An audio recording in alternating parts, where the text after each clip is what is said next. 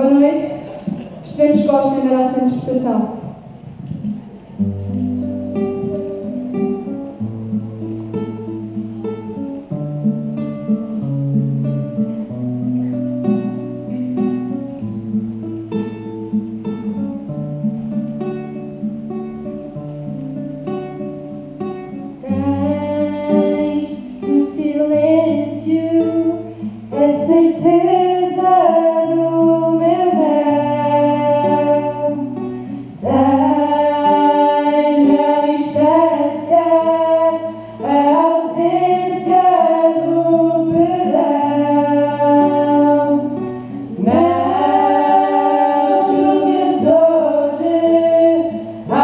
yeah.